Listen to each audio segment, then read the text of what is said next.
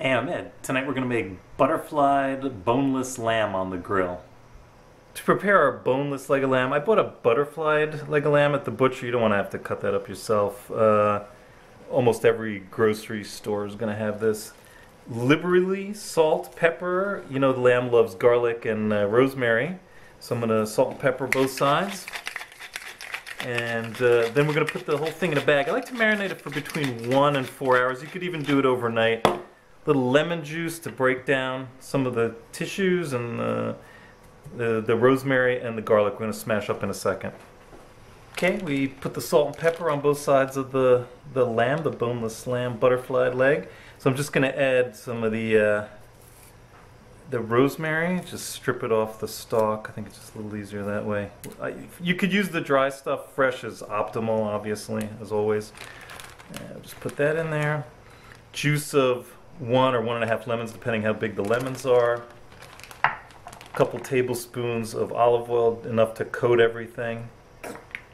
And a bunch of garlic. I kind of put uh, I put four cloves in for three pounds of lamb, so you know one clove per pound is kind of typical. And then we just mix that all up. And then we seal it up and leave it for minimum one hour, maximum overnight and we're gonna have a deliciously marinated boneless leg of lamb to put on the grill. I let our butterflied lamb marinate overnight in the lemon juice, olive oil, salt, pepper, rosemary. And now we're to take it out, out of the fridge, and we're to let it come up to room temperature like we do for all meats that we're to cook, especially on the grill. You don't want to shock it. You want to cook nice and evenly. So I'm going to take it out, put it on a plate for about, this is about three pounds. So I'm going to let it sit out here for maybe 20, 30 minutes. And we'll come back, put it on the grill. We have our grill ready. Heated it up over 500, almost 600 degrees. I'm going to put it, uh, our lamb on fat side down.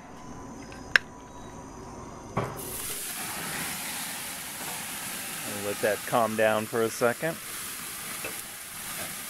So on the direct heat, we're gonna, you know, we want to like get some grill marks on it, and uh, like medium high heat, and then after that, we'll cook it probably on this side about four or five minutes, and then we'll flip it over. All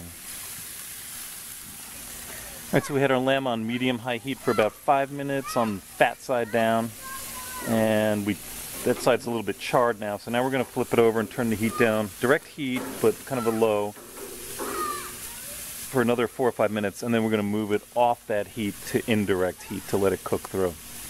So this is back on like a lower heat, the lowest setting, but direct for a couple minutes. After five minutes on our second side, we're going to flip it back over. We have some nice little grill marks. I'm going to take it off the direct heat. Actually, I'll just turn off this burner and we'll let this uh, let the grill come down to about 3 350 degrees. And let it cook through for about another five minutes. I'm gonna pull out an electronic meat thermometer in a second and check the temperature. So you can see our lamb's up to 135 I like it rare so I'm gonna take it off now let it rest for 10 minutes and then cut it. Alright our grilled butterflied lamb is ready to be cut up and served. So let's see how it looks. I'm going to just cut it right down the middle and go from there. Perfect. A little bit rare. I like it that way. So what I'm going to do is just gently take the pieces apart and cut them into slices to serve it up.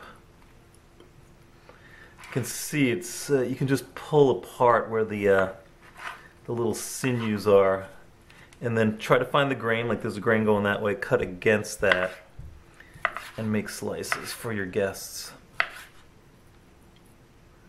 So you can see because of the varying thicknesses, it's done a little bit differently. This is a little bit more rare, that's a little bit more medium. There you have it, grilled butterflied lamb.